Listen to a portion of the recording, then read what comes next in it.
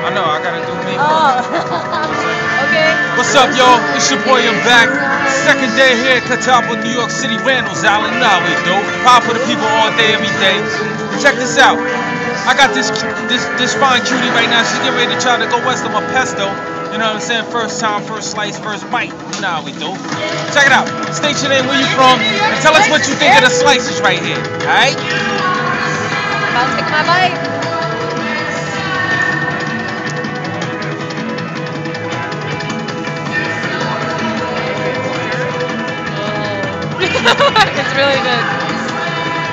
Really good?